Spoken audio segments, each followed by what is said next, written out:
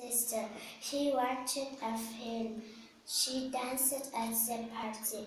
We played a basketball. You visited to me. They called us Sally. Did I talk to sister? Did he watch a film? Did she, uh, she dance at the party? Did we play a basketball?